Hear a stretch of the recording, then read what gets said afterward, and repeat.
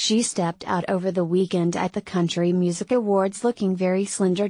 And according to NW Magazine, the star's svelte frame has sparked fresh concerns for her health. Her family and management team need to encourage her to gain some weight before it's too late. LA based dietitian Lisa DeFazio told the publication. As she is currently, she risks anemia, fatigue, fainting, brittle bones, hair loss and putting a strain on all of her organs. Lisa said she also believed the actress to weigh just 44 kilograms which would make her extremely underweight for a person for her stature at 5 feet 7 inches who according to the expert, should weigh in the region of 61 kilograms. Meanwhile, Ruby recently hit back at social media critics who called her too thin. Health concerns her family and management team need to encourage her to gain some weight before it's too late. LA based dietitian Lisa DeFazio told NW Magazine.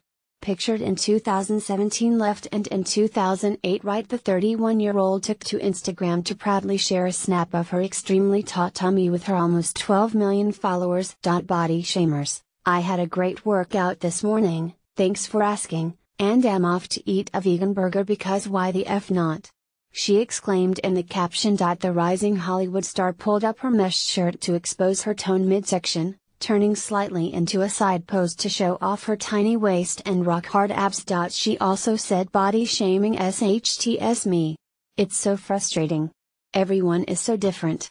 I eat so much amazing food. Recent pictures of Ruby have been the subject of incessant discussion on her social media accounts, with fans debating whether or not the striking beauty is too thin. Apostrophe. Chatter reached a peak after images of her looking very slender at the CFDA and Vogue Fashion Fund Gala surfaced late last month. Outspoken Ruby didn't hold back when she responded to her critics. Responding to one comment on her Instagram asking her to inspire fans by putting on weight, she said, How could I inspire people to overcome something I know nothing about?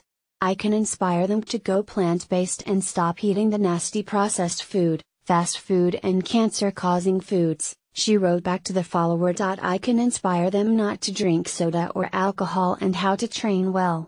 But maybe you can't train yourself to stop seeing what you think is the only way to achieve someone else's body type, she added. The actress also explained how her body changes depending on how hard I train and credited her strict vegan diet and no alcohol policy for her athletic physique. In another social media post, she also slammed detractors for remarking she looked better when she was in her early 20s and hosting MTV Australia. That was a horrible time in my life, health wise, she revealed. She described how bad eating and drinking habits had resulted in her falling ill every month with pneumonia and chest infections. Apostrophe. I get sick maybe once a year now, so please take care of your body and your mind and your soul and stop judging others, she finished.